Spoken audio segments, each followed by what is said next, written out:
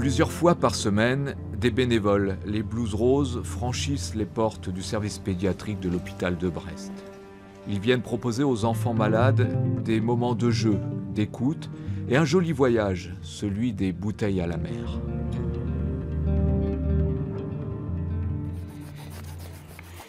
William, il a le cœur et les poumons malades. Il est né comme ça. Euh, il fait avec chaque jour. Et dessiner, c'est une des choses qui le, qui le passionne, qu'il peut faire sans que ça le fatigue. Sans, voilà.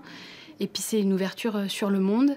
C'est pas un petit garçon, on peut dire qu'il pourra guérir. On a l'espoir que la technologie lui permette un jour. Voilà, pour le moment, non. Euh, et donc, bah voilà, la bouteille à la mer, c'est c'est un petit échantillon qu'il peut faire lui. C'est une manière de voyager pour lui. Où est-ce que tu crois que ta bouteille, elle va atterrir? Et où je, je sais pas. Elle va atterrir, euh, je sais pas. Et t'aimerais qu'elle atterrisse où? Au Japon. Et pourquoi au Japon? Pas parce qu'il y a notre, copine Kaito. Elle a été hospitalisée début septembre et la première chose qu'elle a demandé euh, en sortant, en fait, euh, c'était d'aller voir la mer. Donc Tiffany a dessiné des fleurs en forme de cœur.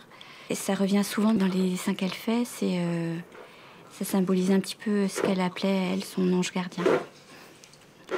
Donc elle aimerait bien que Non, je gardien, ça avec des ailes. donc tu rajoutes des ailes en plus. Bah, c'est pour donner de l'espoir aux autres enfants aussi. Que c'est pas marrant la maladie, mais euh, donc voilà, qu'on qu'on s'en sort et puis qu'on qu'on peut on s'en sort et qu'il y a des moments difficiles, mais qu'il y a aussi euh, des bons moments quoi. Tu penses que ta bouteille, euh, quelqu'un va la trouver, Tiffany? Oui. Et tu euh, t'aimerais bien, par exemple, que ça arrive dans quel pays?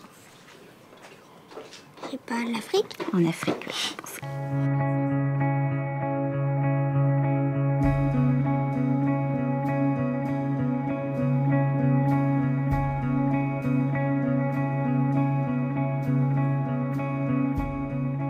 Le Japon, l'Afrique, tous les pays du monde.